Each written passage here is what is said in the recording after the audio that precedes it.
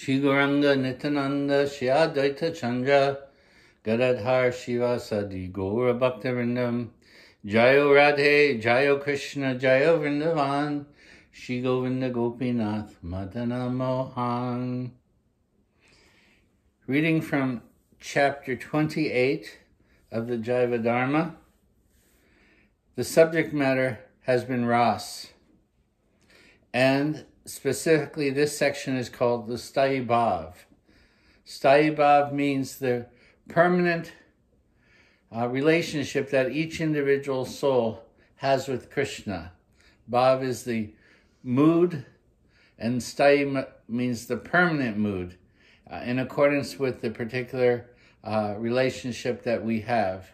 Uh, this will be described here, so we'll, we'll begin with the reading. Brajanath uh, is visiting uh, Gopal Guru Goswami, and he asks, So Prabhu, please tell us about the Sthayi Bhav. The Goswami says, The Sthayi Bhav rules over all other bhavs, like the king. The Rati for Krishna, which takes shelter, ashraya, in the heart of the devotee, is called the Sthayi Bhav the ashray, the shelter, that mood which is found within the heart towards Krishna and which remains permanently fixed is called the sthayi bhav. That bhav makes all other bhavs dependent on itself and leads them to assist in some ras and cause some ras. Ras is the taste that comes from our relationship with Krishna. That's the taste. But the mood, the bhav, is in accordance with our relationship. Just like in, in Braj, there are those who have relationship with Krishna as Krishna's lovers. There are those who have relationship with Krishna as Krishna's friends. Uh, there are those who have a parental relationship with Krishna. These are the bhavs, the mood, and by expression of that love in their particular mood, there's a particular taste or ras. The sthayi is the very form of taste, but assumes the role of tasting. Who is doing the tasting? It is he who carries the mood of love for Krishna in a particular bhav. I have understood that ras for the Lord arises in the mental disposition of the Atma within the pure Sarupa of the Jiva. I've understood that the ras that you have explained, the very wealth of the pure jiva, is experienced a little by the mercy of the hladini in the bound jiva. So he says, I've come to understand, he's talking to uh, Gopal Guru Goswami, he says, I've come to understand that ras manifests within the mind, but it actually comes from the, the pure sarup, the pure uh, nature or form of the Lord, of, of the jiva, excuse me, for the Lord. That each of us, in other words, it's not a mental concoction. It may arise within the mind that we're feeling something for Krishna, and it may appear like it's a mental state, but ultimately it is coming from the Sarup, the pure soul. But this is also, here, then he goes on to say, that pure jiva is experiencing this by the mercy of the Hladini. Hladini means by the mercy of Radharani. She is the Hladini Shakti, the pleasure giving potency. She has the full power, Hladini Shakti means she has the full power to give Krishna pleasure. So those who can give Krishna pleasure uh, gain that power through Radharani. Otherwise, there's no other way. Radha is the source of that pleasure for Krishna. She alone. But she extends herself through her various expansions and rays and so forth to express that love. So, in one sense, it's Radharani who is always giving that love, even through the individual jiva uh, who carries the mood of devotion, which has been imbued upon us by the Hladini Shakti, by Radharani. Independently, we have no power to do that. Uh, so that that uh, very source of pleasure to Krishna shares that pleasure potency with all of us and awakens that within us, like the uh, match that lights the candle. She awakens that within us. Now, he says, I want to know more about the different types of rati. Seeing Brajanath's understanding of Tattva, Guru Goswami was in great bliss. Tears was flowing from his eyes, and he embraced Brajanath. He said, Oh, how I have become so fortunate to obtain a disciple like you. Oh, now please listen what I have to say. The primary ratis can be divided into five Shuddha, Dasya, Sakya, Vatsalya, and Madhurya. Just as the sun reflects in a crystal and other objects appear differently, Rati is seen to be different in the different receptacles of the Sthayi Bhav. In other words, just like the example is often given, if you have various pots of water, sun is shining above, if you see, you see the reflection of the sun in each of the pots. So, we are all individual souls. That is the first and foremost understanding in Vaishnava Dharma. That I am not God, I am part and parcel of God, but my nature is that of service to the Lord. Service means love, ultimately. Uh, service is how we express love. The gopis express their love in a particular way. Cowherd boys express their love in a particular way. The parents uh, and those of parental uh, disposition uh, express their love towards Krishna in a particular way. So, uh, this is ultimately all coming down from that one source. And we can say here it is the Shakti, the Hladini Shakti, that shines within us uh, that uh, Shakti of Shrimati Radharani. We call it Bhakti Shakti or Hladini Shakti, whatever we want to call it, Lila Shakti, we want to call different names. But it is that which comes from Radharani because she holds the power of devotion. Krishna and Radha. Krishna is the enjoyer, Radha is the giver of pleasure to Krishna. The primary rati is called swacharati because it has the quality of a crystal from associating with many types of devotees and from performing various sadhanas approved by them. Like a crystal, it shines the light. Otherwise, the crystal is dull. It needs the light to shine on it and it uh, reflects that light in various ways.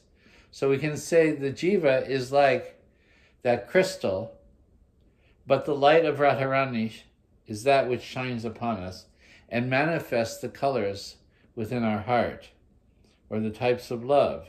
So here it is expressed that uh, by associating with many devotees and performing the various sadhanas, gradually we find ourselves gravitating to a particular mood. Persons with this swachi, swacharati sometimes praise Krishna as the master, according to their mood. Krishna is the Supreme Lord, the Supreme Personality of Godhead, Bhagavan. But sometimes they joke with him as a friend. When that relationship becomes more intimate, they can be friendly with Krishna if that's their bhav, their sthayi bhav. Sometimes they protect him as their son. That is like the uh, parental affection.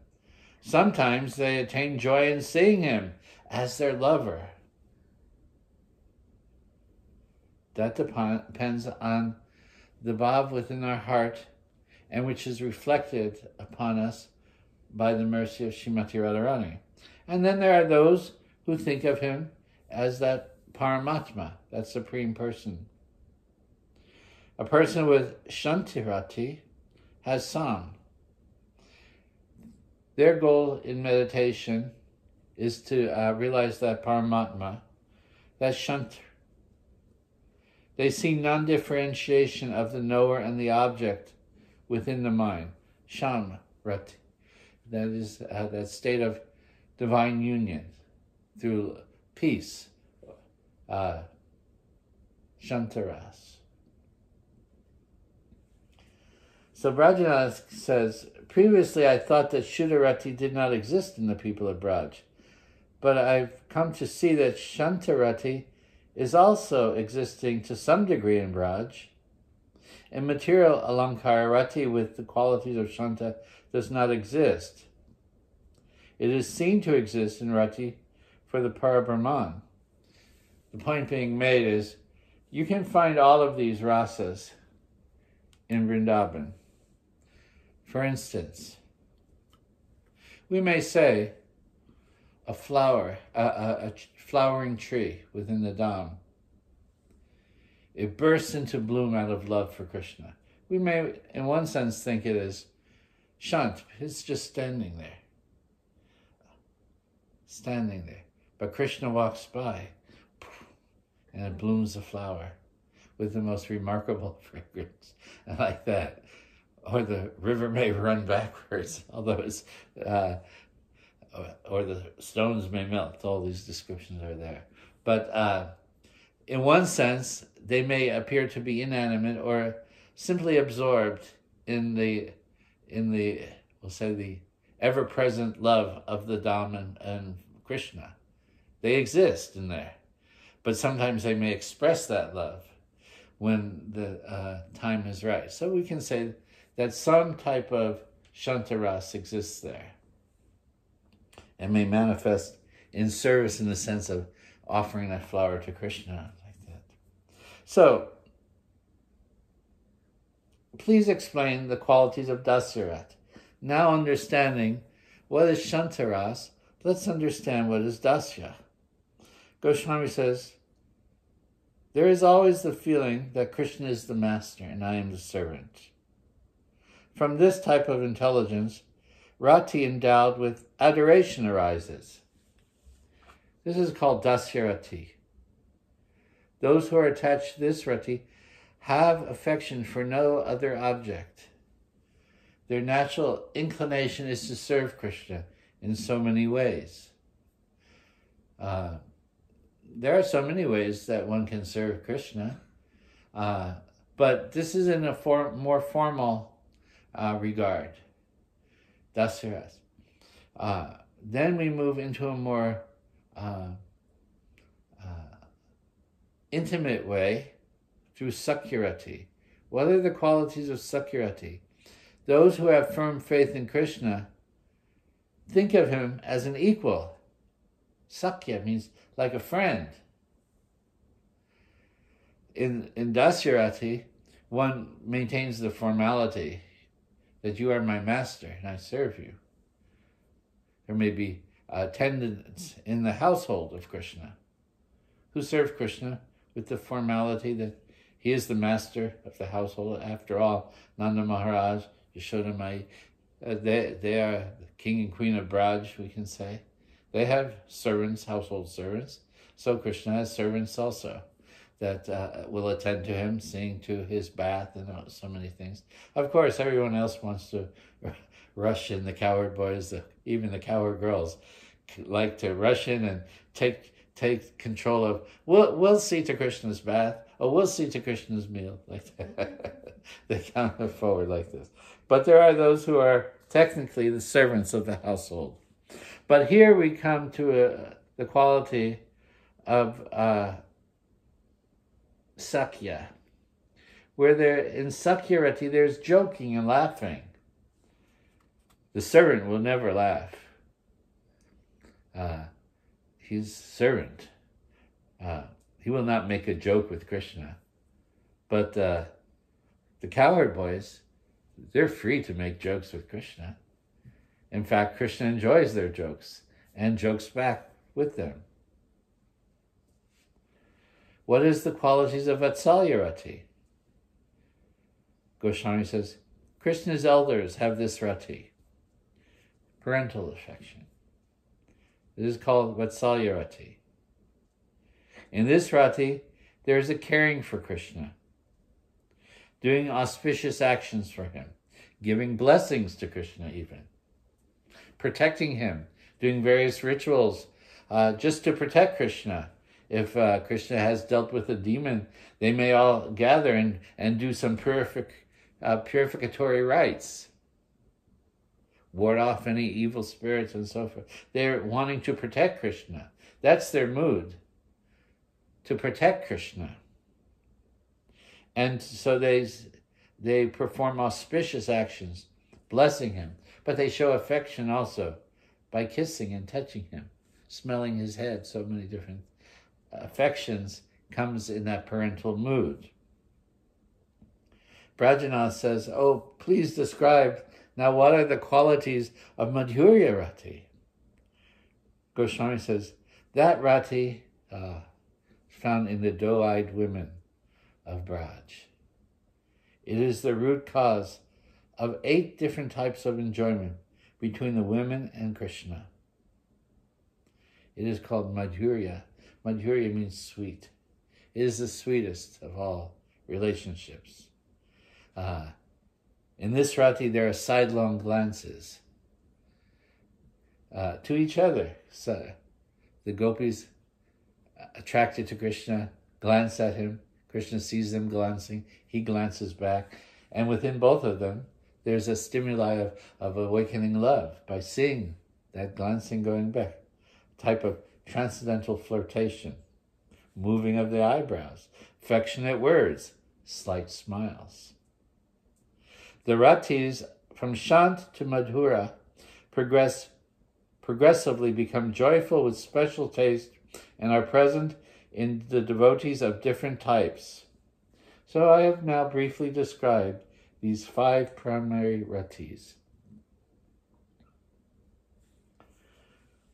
Brajanath then asks, what is the real meaning of bhav in spiritual ras? Goswami said, that bhav, which appears in that wise person who has dedicated his intelligence to the Lord, experiences in the heart through deep impressions of previous bhakti is called bhav in, in the scriptures upon in the scriptures that describe ras. In other words, awakened within that soul who has uh, dedicated himself to the service of the Lord and has ex- executed that service. Uh, there are deep impressions of previous bhakti which may also be carried over from previous lifetimes. And this awakens, all of this awakens within the devotee's heart. And that uh, special bhav or mood for Krishna begins to awaken or bloom within the heart also. All bhavs exist in relationship to the Lord. In one sense, they're all inconceivable. Bringing the inconceivable bhav to the heart, examining it with one's fixed intelligence, and understanding one's sthayi bhav among the inconceivable bhavs, accepting that sthayi bhav as relishable while accepting the other bhavs as ingredients. Here you will manifest the symptoms of a nitya siddha, uh, akhanda ras, uninterrupted ras. It will awaken within you that it is always there, uninterrupted. Gradually, gradually, like this. Brajanath says, Prabhu, what are the deep impressions of bhakti related to this topic? Goswami says, overcome with material objects, wandering in the wheel of karma for many births, conscious in composed of ancient consciousness, composed of ancient and recent life impressions. In other words, the jiva travels from lifetime to lifetime, carrying uh, various types of impressions. Some we've gathered this life, some are carried from other lives. Why we take a particular birth in this world, who are parents within this world, the experiences we go through within this world, uh, is all based upon what we've done previously and is carrying us to the place where we are right now.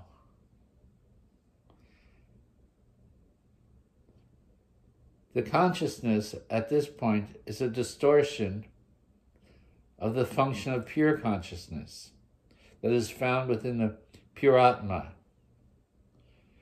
But the uh, impressions created by actions of worship in association with devotees and by the strength of that sukriti, sukriti gained removes all the distorted impressions and manifests real impressions within the heart. This is the gradual uh, purification of the heart. Cheto Darpanam Marjanam. Sri Chaitanya Mahaprabhu expresses this in his first prayer of the Shikshashtakam. The cleansing of the heart through the process of bhakti, removing all past impressions that bind us to this world, freeing us. That's, that's why the devotee, in many cases, is considered a liberated person, because he's actually free from all binding uh, impressions from the past and lives in the reality of his relationship with Krishna. When these impressions become deep, they manifest the inconceivable tattva within the heart. And that is the meaning of deep impression. By the strength of Sukriti, with the removal of distorted impressions, the manifestation of real or true impressions of our relationship with Krishna manifest, and as they become deeper, that uh, uh, awakening of pure love manifest. Brajana says, I, I want to know who is qualified for this, this Rasa Tattva. And Goswami says, the person who has been able to bring the inconceivable bhav into his heart by deep impressions as described is qualified for Rasa Tattva. Others are not qualified. In other words, we have to begin our devotional practice through regulation and make it strong that this is what we do. I am a devotee, first the conviction. I am devotee of Krishna. And to uh, uh, awaken that permanent consciousness of the reality of I being this devotee of Krishna, I must express my love towards Krishna by following the instructions of my Gurudev. I must chant mantras, I must read the books and so forth, uh, do my daily duties in relationship to Krishna. Becoming steady, then gradually, gradually, gradually awakening the deepest impressions from within, all of this comes to the surface. This is by the mercy of Guru and Krishna. So when one uh, finds that awakened consciousness in there, he will ultimately experience Ras. Vijay Kumar said, O Prabhu, I have spent my life studying the Bhagavatam. Bhagavatam is the scripture describing Ras. Is it an, is it an, an offense to recite the Bhagavatam to ordinary people to earn a living?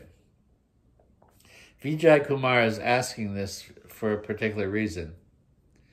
He's a studier of the Bhagavatam, but he's also a professional Bhagavat reciter. There are those, it's like professional kirtanias. you can hire people to come and do kirtan, and you pay them. You can hire someone to come and, and read Bhagavatam. They're kind of like the priestly class, we call. Uh, they, they're hired to bring about an auspicious uh, thing uh, within one's own household, within one's home, and so forth. One wants to uh, create an auspicious environment. So you may hire some kirtanias. You might hire someone to do, just like any professional priest, they're hired to do the jagnas, they're hired to do the kirtan. But there's also professional Bhagavatam readers. In India, that's an occupation. I mean, it's, it is done by the Brahmin class and like that. But understanding that the Bhagavatam ultimately is the revealer of the highest ras, Vijay Kumar is asking, well, I'm rethinking all of this. Uh, is it all right then to just to read this to ordinary people who have no real understanding? Goswami says, the Bhagavatam is actually the crest jewel of all scriptures. It is the very fruit of all scriptures. One should follow what is stated in the first canto, third verse.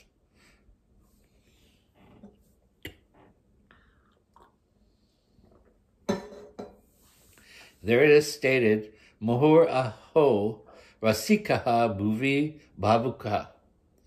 Except for the rasika or the bhavuka, no one is qualified to drink the rasa of the Bhagavatam. That is one who is actually, the Bhagavatam is meant to be heard by qualified hearers. so give up this profession immediately, he says. He orders him now, actually. He says, You should give up this. This is not uh, just for creating, uh, in this mundane sense, some some uh, pious environment. You know, people do things religiously for piety, but Krishna consciousness is not main uh, is not done for piety. It is done to awaken actual love for Krishna. That is the highest ras. So the Bhagavatam actually, when heard properly, is meant to awaken our natural love for Krishna. It is not meant for just some social, uh, uh, like a marriage ceremony or something like this, or or or to rid uh, uh some negative energy out, or because uh, uh, of, of certain circumstances we want to have Bhagavad reading or or kirtaniyas come to our home. No, invite true devotees to chant the name invite a pure Bhagavad Vaishnava to recite the Bhagavad. The Bhagavad Vaishnava is non different than the book Bhagavad. That is stated in the Bhagavatam too.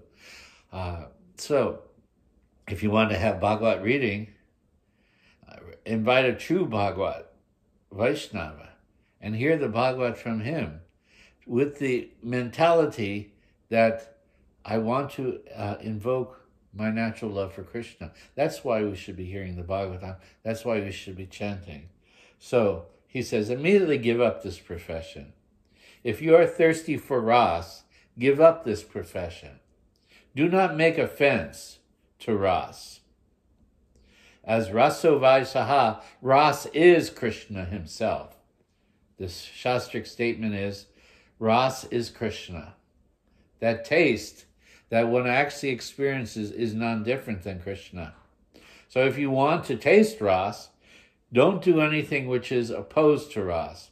And, and reading the Bhagavatam or reciting the Bhagavatam to unqualified persons will not awaken Ras, either in you or in any other person listening to the Ras, to the Bhagavad.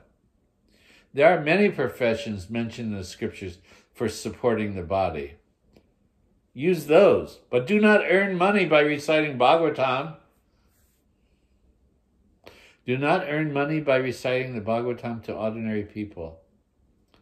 You can find some other source of income, but not, not reciting the Bhagavatam to make a living. If one finds hearers who are rasikas, you can have them hear Bhagavatam in bliss without accepting a fee. Don't charge anything. Go there to share the Bhagavatam with them, and and uh, both parties, the, the speaker and the hearer, will become uplifted by that. Vijay Kumar said, Oh Prabhu, today you have saved me from a great offense. I have been doing this, but immediately I, I will stop. What should I do about my previous offense? Krishna says, Oh, that offense will not remain. Don't worry what you've done in the past now. Proceed forward. That's what we have to do. We have to proceed forward. So that offense will not remain. You have surrendered to Ras. In other words, Krishna. Ras is Krishna. You have surrendered to Ras with a sincere heart. Ras will forgive you. Nice statement. Uh, taking Rasa in a very personal way, Rasa will forgive you. Surrender to Rasa, and Rasa will forgive you. Give up any idea of sharing this with mundane people and surrender to Rasa, surrender to Krishna, surrender to your relationship with Krishna. Ras will forgive you. Krishna will forgive you. Don't worry about your past. Move forward. Do not think about this any longer. Chalo, it's gone. Goodbye. Is gone. Now we move forward. We don't have to hold on to things of the past. We got to move forward. Vijay Kumar said, Prabhu, I will nourish my body by some other occupation, even if it is very low occupation for me. I will not glorify Rasa to unqualified people, and I will not take money from them for doing such glorification. That is in the past. Goodbye. Now we will move forward and follow your instructions. Goswami said, You are fortunate. Krishna has made you his own. In other words, Krishna has embraced you. That statement, Krishna has made you made you his own means that Krishna has brought you into his embrace. Otherwise, how could you find such firmness in bhakti? If you are firm in bhakti, then you know you're in the embrace of Krishna. You are a resident of Navadvip also, and therefore Gauranga has given you all Shakti.